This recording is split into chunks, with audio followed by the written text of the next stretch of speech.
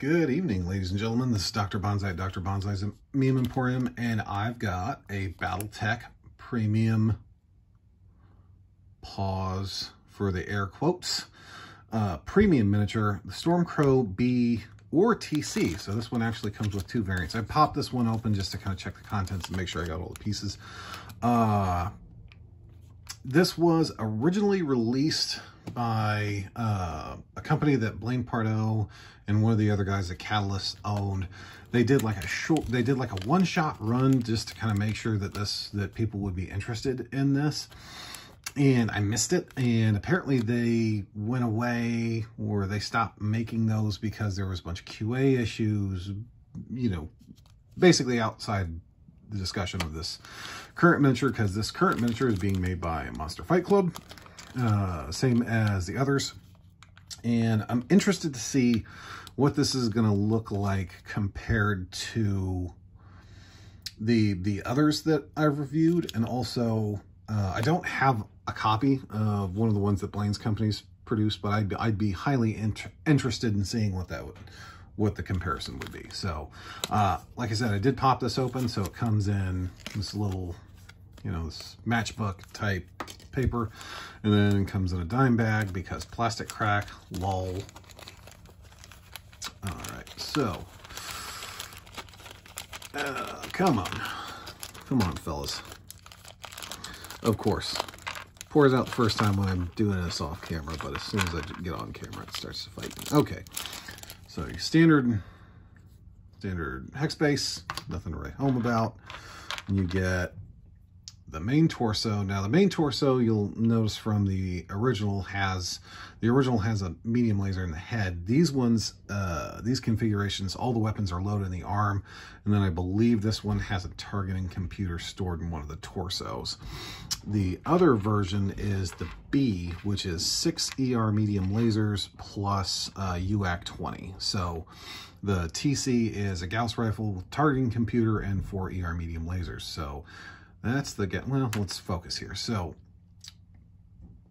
looks actually fairly fairly well put together, fairly clean. Some kind of remnants of the mold and this kind of little white piece right there is uh, mold. Again, covered in this white gross stuff that irritates my skin. I don't know, maybe I just have sensitive baby hands, but it's well within the realm of possibility. Um, and then you have the lower torso, which, so let's go pop that. Okay, so that rides a little high. So that's going to be worth taking a look at and probably trying to, it's probably going to take a little bit of work to make make pretty. Uh, and then you have two pairs of legs. You kind of have, yeah, here we go. So you have a pair of just kind of typical standing legs or one leg is kind of askew the other. Um, ooh, that's a lot of mold excess on the feet. That leg's kind of wonky. So this is probably going to get the hot water treatment uh, to straighten that out. And then the other leg, one is up and the other is planted solidly on the floor. So we're looking, so you can kind of make it a running pose, which honestly, I've played this configuration game, not with this model, but I've played this configuration. You get one of these things running hell for leather at you with a UAC 20 and it's bad news bears or bad news smoke jaguars because that's the clan I play. Whoa! Um, and this is the UAC 20. And, oh boy, mmm, she thick. Look at that. Mmm. Mmm, mama, don't be so mean. Yeah, yeah, that looks good. That looks amazing, actually. I, I'm not going to hold you up. That's That looks spectacular. Uh, and then the other arm, which is the Gauss rifle, which is arguably the better choice because it, in this particular TC configuration, it's paired with target computer, but come on, it's not a girthy boy. And then from there, you have your two arms, and this is kind of where it gets, the, the B gets squirrely because you have these six ER medium lasers strapped to your other arm, and it's got a ball joint, good range of posability. So you could probably get a really, a really good pose out of this. Um, and then you have the TC arm, which is just the four ER medium lasers, but it's like you're still pairing it with a with the targeting computer. So, um, and then this is the yeah, we already looked at the hip assembly. So how does this look compared to the original? So here is original in plastic, which is a damning statement about how I need to paint my miniatures. Um, so fairly identical. Like I said, the only, the big difference is there's no uh, medium laser in the head area.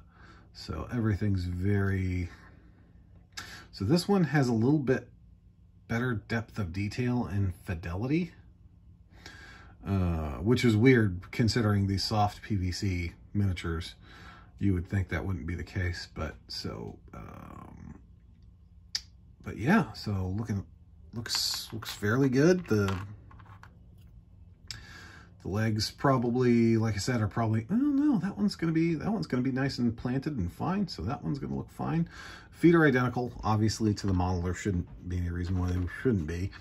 And then, okay, so that is the front.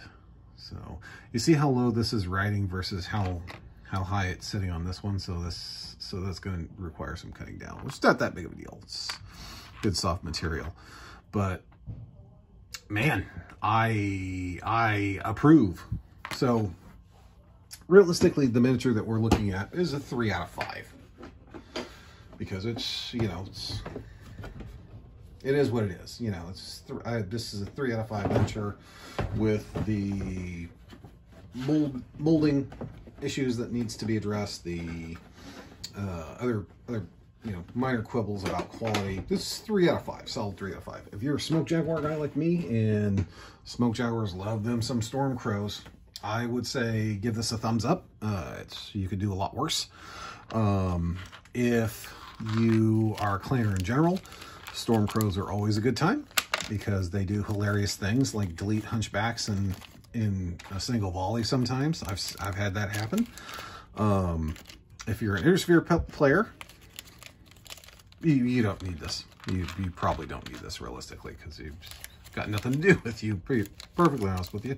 So yeah, so that's the Stormcrow TC by Catalyst Game Labs in association with um, Monster Fight Club. And out of all of these so far, I hate this the least, which is which is something to say, but it's true. So that's my opinion. Uh, $15 retail US. It's about what you would pay for a metal miniature from Iron Wind Metals, and it's probably the equivalent amount of work to get it prepped and ready and painted. So uh, the ball is in your courts, guys, consumers. Let me know what you think in the comments. Bye.